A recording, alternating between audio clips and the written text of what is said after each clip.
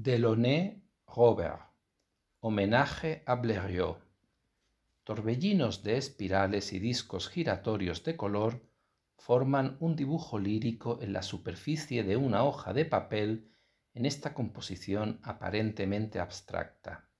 Si se observa con mayor detenimiento, podemos ver la torre Eiffel a la derecha y las alas y la hélice de un avión a la izquierda.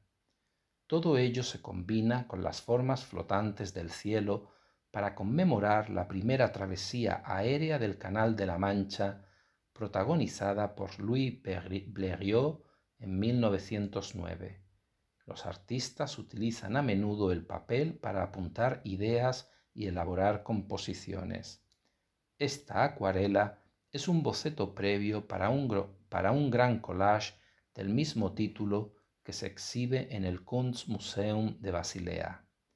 Delaunay desarrolló su manera de emplear el color para crear cuadros puramente abstractos cuyas figuras y formas eran imaginarias, sin relación alguna con el mundo tangible.